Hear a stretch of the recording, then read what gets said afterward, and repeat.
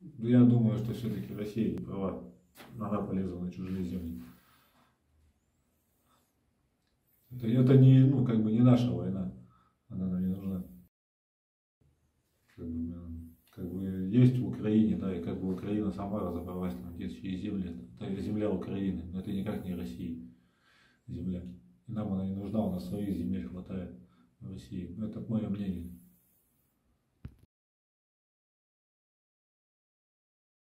Не заключать контракт с Министерством обороны, не ехать сюда, на Украину, воевать. Пацаны, вас просто кинут нафиг, как мясо на позиции, и все, и никто до вас, вас даже не вспомнит. Будут бить по вам свои же минометами, как это делали по нам, нафиг. И просто бросят на позиции, и будет вам им пофиг вообще, что с вами произойдет, нафиг. Так что не стоит вам сюда идти. Бурятов. Ну, блин, я вот встречался, ну, как бы, в смысле, вот, когда мы заходили вот на лесополку с ним. Мы зашли к ним э, в блиндаж, и они нас быстренько-быстренько выгнали. Говорят, не надо тут сидеть, слишком много народу, давайте идите куда-нибудь дальше. Ну, как бы буряты стоят у нас на соседней лесополке, тоже с нашей, с 37-й бригады.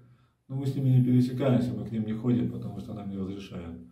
Мы только видим, как они пьяные ездят мимо нас, все, на мотоцикле. Они как воюют, они больше блин, стоят на позициях, на каких, где подальше уже от передка. Они стоят там где ближе к нулю где-нибудь, где мы заходим. Вот. Только... Которые меня отправили на позицию, которые меня отправили на позицию, я сказал бы командирам, что вы просто гандоны. Вы нас кинули там, обстреляли нас минометами, ну, и все. И потом замолчали. Ну. Нам стало неинтересно дальше судьба, дальнейшая наша судьба. Сколько мы находились, а потом уже связанные, когда сдались она.